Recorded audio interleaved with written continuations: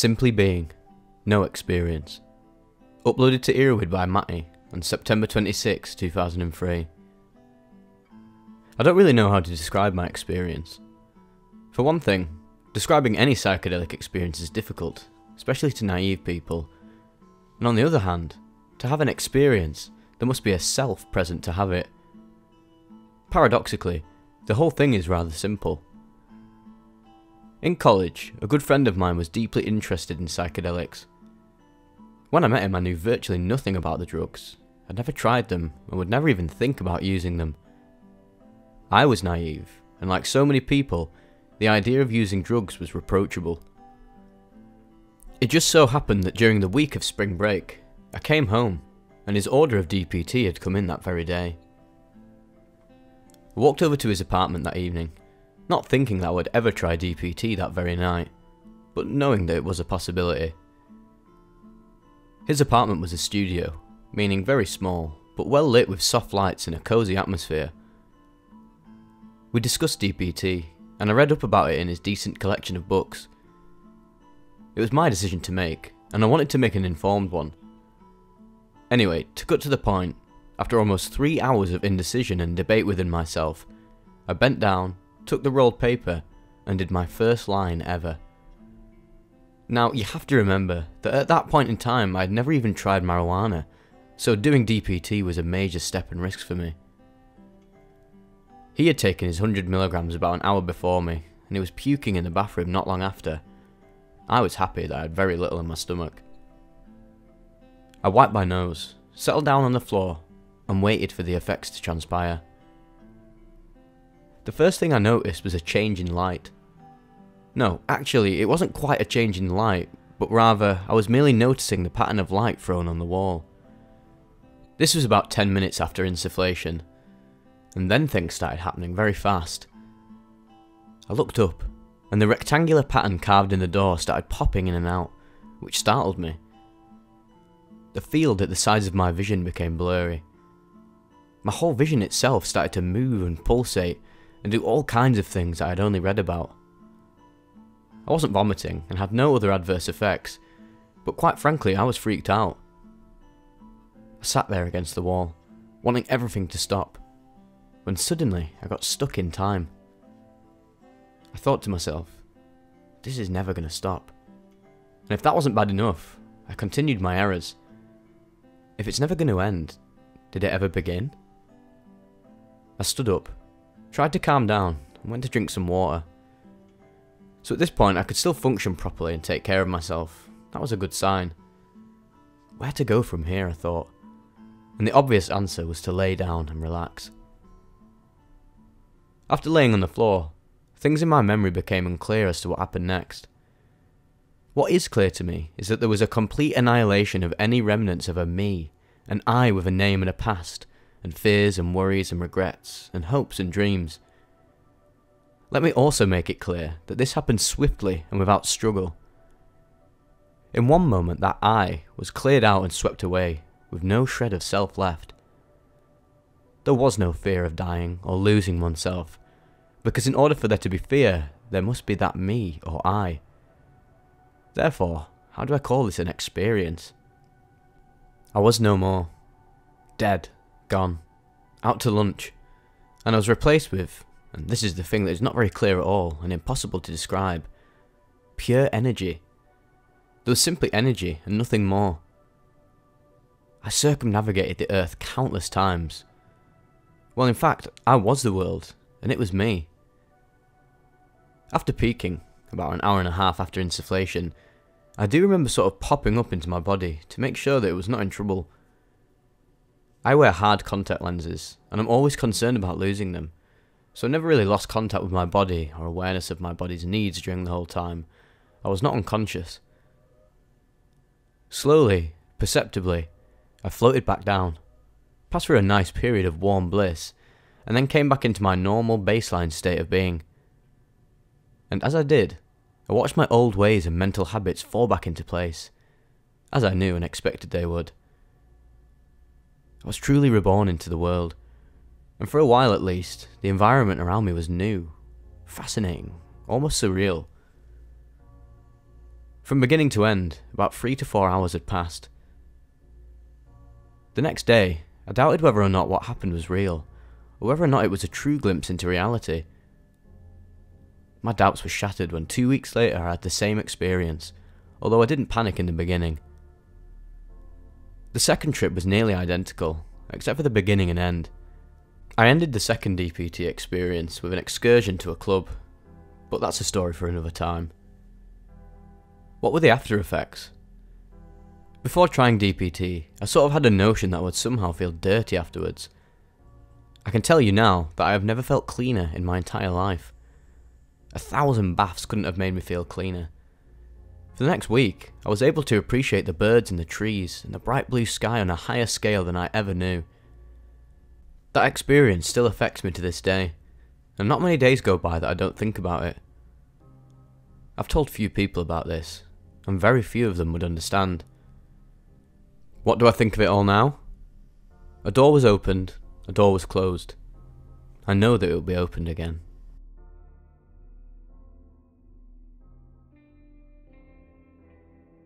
Breakfast of the Gods. Uploaded to Erowid by Dr. Wiley on September 21st, 2011. It came about on a bright May morning that I decided to take another psychedelic attempt at my new fascination at the time, DPT. I woke at about 10am and I realised the day was upon me that I must deepen my psyche, and I had acquired this strange powder from a friend a few weeks ago. I've been dying to give it another try. Previously, my buddy and I had done DPT, and the dose I took was way too strong. The hallucinations were overwhelming both with eyes open and closed. The latter were much more elaborate and unfolding, and were easier to integrate into my mind. Words always fail to accurately describe vivid hallucinations, because as always, one must experience the madness firsthand to truly know. I will try to articulate my mind's eye. With eyes open sitting in a chair in my living room, where these two walls meet with the ceiling, there ceased to be an external meeting of right angles. However, they protruded outwards into my visual field. The corners of the room were coming straight for me, and I couldn't escape. No amount of marijuana or music could soothe this madness I was going through. No sleep for the wicked. With eyes closed, I sat back in my chair and felt as though I was in the clouds, floating in a purely meditative state. Visuals of figures mimicking myself floated past me on mountain tops. I felt as if I was doing front and back flips simultaneously, which was such a strange, paradoxical feeling. There was pure beauty everywhere. Straight up Alex Grey shit. After hours of mental pleasure slash torture, I was gradually allowed to regain my consciousness by some divine force, for I was not in control of myself at the time. Now, on to today's experience. I woke early around 10am and ripped a huge line of DPT, roughly 100 to 150 milligrams. I jumped into the shower with the hopes that by the time it was done, I would be tripping face. Toward the end of the shower, I started getting tremors in my limbs, and I knew it was been for something very infinitely interesting. I quickly got out of the shower and got dressed, and started blasting mellow STS9 out of my amp, and laid down for the effects to override my mind. Within minutes, my closed eye visuals were changing with every note and transition of the song. It was amazing. I strongly recommend closing the eyes and taking in music while on DPT. All my thoughts flowed with the music. Everything in my mind, everything from this day back to my childhood, raced through my mind. Everyone I'd ever met, had fun with, screwed over, laughed with, cried with, and especially cried over, were flowing through my mind like an endless stream. However, this stream was made entirely of grains of sand, each grain being an aspect of my life which had affected others in positive, negative, and neutral ways. Very spiritual, very overwhelming, very necessary. I'd recently been in a serious car crash in which I went through the windshield, and this was like a beacon in my mind for a perfect second chance at life. I cherished every minute of life, and I would, as the DPT showed me, cherish every single day, every moment, every interaction, every action and reaction. A perfect paradoxical mindfuck.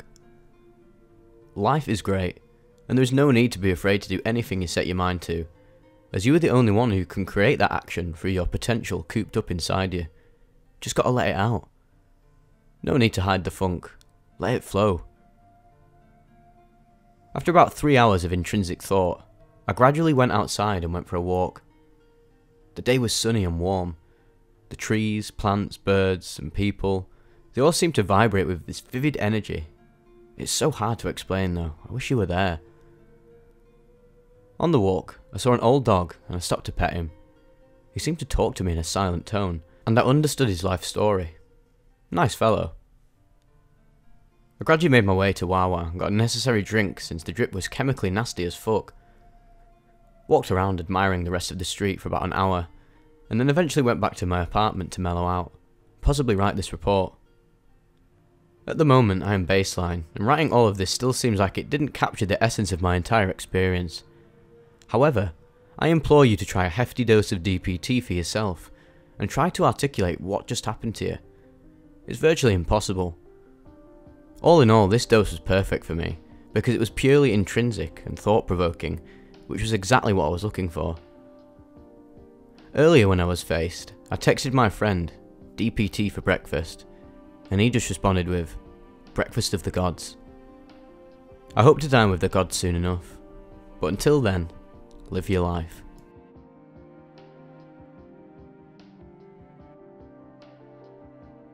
Coming Apart Perfectly, uploaded to Erowid by Luke on January 5th, 2004. Whoa. Today has been the most incredible day I've ever experienced, or at least one of them. DPT has got to be the most amazing drug that I've ever experienced, and is something to be worshipped. My fear and humble respect are given to this drug, and the doors that it opens into myself. The awesome power that this drug has shown me is incredible. I've seen visuals unlike any I've ever seen before, and I tripped unlike I've ever had before. Began after 60mg insufflated, extremely intense, into thinking about being attacked by Egyptian giants, provoked by thinking about the Discovery Channel, and then thinking about what awesome alien gods that the Egyptians must have worshipped to build such great scary structures of giant cats. Very weird trip to think about. Eventually, I sat on my bed and was able to somewhat gather myself, noticing that it seemed like I was sunken into my bed, to the point that I was actually part of it. This is when the best part of the trip began. This most awesome sense of respect and understanding occurred within me. I began to discover my own potential, because I've never been able to see myself just as I see myself like this. The state I was in was superhuman, and I could have been levitating off of my bed, and I wouldn't have been surprised in the least. It felt like molecules were separating, and I was one with everything. Then I observed my dresser, and patterns of eyeballs inside of it. These were visuals beyond anything I've ever seen.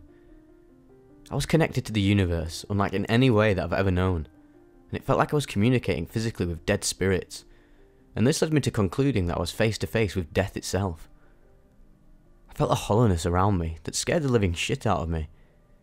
These faces of torment began to appear in front of me, and this was a learning experience that actually made me feel inner pain for the awesome nature of death itself and to the dying process. I felt a coldness that I tried to wrap my arms around, that made my insides feel like an abyss, just empty death. This gave me a greater understanding of what death is, because this is actually the closest I've ever come to knowing it with myself. After I forgot what I was trying to understand, I came out of a deep thought by forgetting what I was thinking about. This is when I just enjoy this awesome and fearful state with a foothold, and I was able to navigate it much better. I began to find very great meaning in everything that I've neglected to give deserved meaning to, most importantly, my own death. I don't want to die, and the reality that I've seen makes this acknowledgement very scary. The power that I've experienced, the only way that I can describe it is as being religious and extremely emotional. I was able to see into the details of perfection and understanding. It's like the smashing power of 5-MeO-DMT, but prolonged into an amazing trip that is possible enough to navigate, with the most incredible visuals I've ever seen. I haven't yet tried DMT, but now it is at the top of my interest, 5-MeO has basically scared the shit out of me too much to want to go back to it that often. But this DPT has become my favourite drug I've ever had. I will know this drug as much as possible.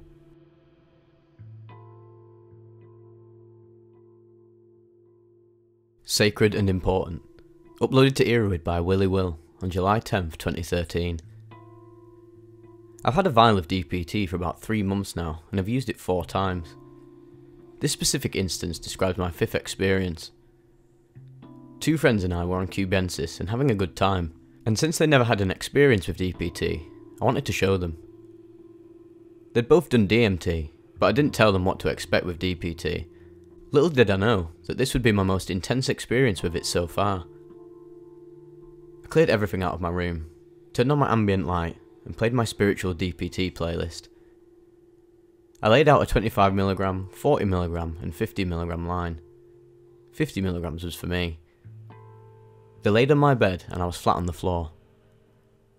After 10 minutes, I laid another 10mg and railed it, and laid back down and closed my eyes. My spirit began to lose all sense of arrogance and ignorance. My character was non existent. I became the student. Mushroom visuals moved aside as the DPT teacher took the stage. I opened my eyes to the ceiling, where clear tentacle like arms surrounded by light were reaching out for me, showing me that it was there. I closed my eyes again. The teacher takes full control by now, 30 minutes in, and the lesson has begun. We begin to telepathically communicate in tongue, mostly me asking who it was, but he just began without answering. First, he pulls my mind to the very beginning of my memories. Shows me a slideshow of crystal clear images of key points in my life as if I was experiencing them again. The slideshow lasted for about 5 minutes. Second, the teacher decides to show me how my brain and body works. He brings me to the part of my brain that controls my heart function and says, Watch this. I feel my heart beat twice irregularly and then return to normal. Without letting me think about the fact that I could have just died, he takes me to the part that controls my lungs. It begins to become impossible to breathe. Then, he lets it go back to normal. Third, he says now watch this, and pulls my spirit out of my body and takes us galaxies away. He points me to the entire scope of time, selects 5,000 years out of it, and stretches it out like an accordion to show me what it looks like. Impossible to comprehend, of course. And then he squeezes it back to its spot in the infinite timeline. Then, he takes me back to our current place in time and puts me back in my body for one last lesson. The teacher pulls a strand of DNA from my brain and brings it close to me so I can see the details. It is scrolling to the right as he explains that this is who I am and where I come from. I say okay, and then he goes on to split the strand apart, remove several nucleotides, and rearrange them and place them back, zipping the strand back together. I am now a different human being than I was. He sees that I am scared, so he unzips the strand again and puts the nucleotides back so my genetic structure is the same as before. This is what I can do. This is the power I have. Everything starts to fade, and then I just sat there for about an hour discussing the experiences we each had. I came to conclude with an explanation of the difference between DMT and DPT. DMT tells you, while DPT shows you. I don't know what they are exactly trying to teach, but I do learn every time. I definitely recommend DPT for someone who is experienced and is willing to surrender control.